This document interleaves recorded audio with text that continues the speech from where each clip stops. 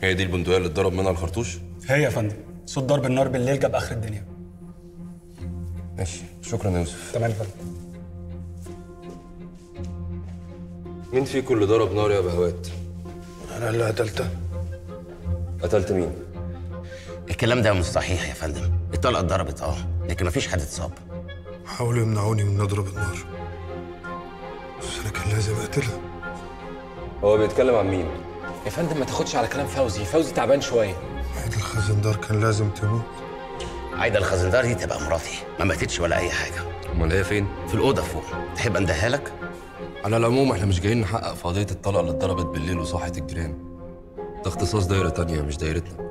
أنتوا جايين بخصوص القصر. مظبوط؟ قرار وضع القصر تحت الحراسة صدر. ولجنه الجرد والمصادرة وصلت.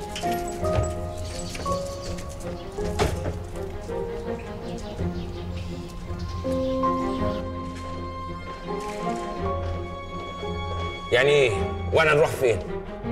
والله بقى يا سيد نبيل دي مشكلتكم أنتوا مش مشكلتنا إحنا.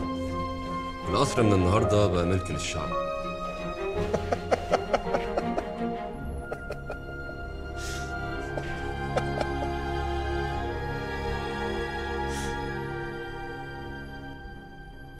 مش هيحصل. مش حقيقة. شفت القرار بعينيا لما عايدة الخزندار تقولك مش هيحصل يبقى مش هيحصل. محدش هيقدر ياخد القصر ده مني. أنا كمان مصدوم زيك وأكتر مع إننا كنا عارفين إنه هيحصل لكن مش قادرين نصدق. تصدق أنت ولا ما تصدقش ولا تروح في ستين داهية انت واخواتك مش كفاية أخوك المجنون المجرم اللي كان عايز يخلص عليا؟ حقك عليا يا عايدة. مش كفاية يا نبيل مش كفاية.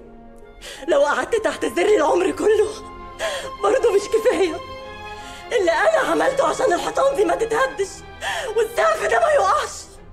محدش كان يقدر يعمله غيري. يا ريتها جت على قد الحيطان. دول هياخدوا كل حاجة. التحف السجاد اللوح المجوهرات. مش عارف هيسيبونا نخرج بهدومنا ولا هياخدوها دي كمان. قلت لك محدش هيقدر ياخد مني حاجة. ولو فيها موتي راح فين يا عايدة؟ عايدة! استنى عندك انت وهو. بتعملوا إيه؟ انت بتكتب إيه؟ امشي من هنا القصر ده بتاعي أنا. محدش هياخده مني. وانت كمان بتكتب إيه؟ امشوا اطلعوا بره أنتوا عارفين أنتوا في بيت مين؟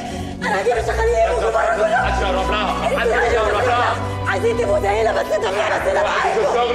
معاكم. ابعد عني. أنا هكلم شوكر ويضحك أنا كلمتها أنا مش هتقدر تساعدنا مش هتقدر عايده عايده عايده دي يا عايده ما تقوليش كده. يا عايده